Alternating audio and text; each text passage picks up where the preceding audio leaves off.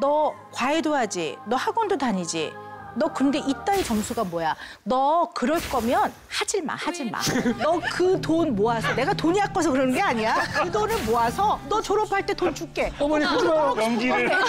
어머니. 아, 나 너무 너무 여기저기서 많이 들은 말이야 주변에. 아, 그- 네. 그렇구나. 그러면 안 되는 거예요. 그래서.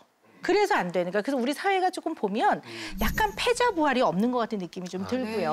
어떤 무엇인가를 할 때 처음부터 잘하는 사람이 없거든요. 그러면 중간 과정에서는 끊임없는 시행착오를 사실 좀 겪게도 해주고 그 과정에서 가까운 사람이 해줘야 될 역할은 힘들 때 지지가 되어주고 격려해주고 어려움이 있으면 같이 의논해주는 거지.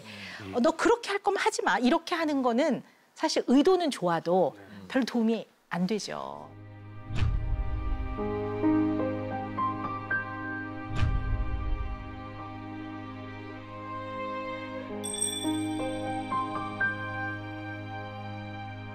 숨진 박구는 성적 문제 등으로 고민을 많이 해와 평소에도 친구들에게 죽고 싶다는 말을 많이 했던 것으로 드러났습니다. 쌍둥이 자매가 수능 성적을 비관해 스스로 목숨을 끊은 데 무게를 두고 있습니다.